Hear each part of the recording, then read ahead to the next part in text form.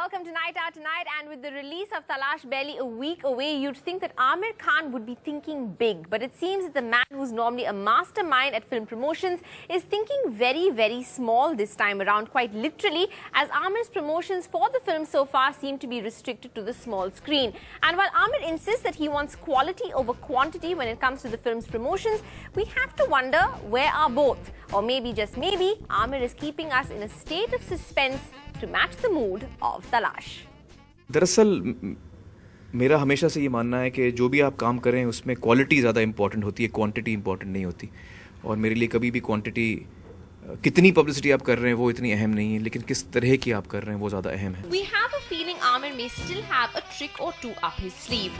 After all, Talash is Amir's first ever suspense thriller, and maybe the perfectionist Khan is keeping us in suspense off screen as well. आप देखिए क्या होता है India's number one news app. Just got even better. Download NDTV's new app.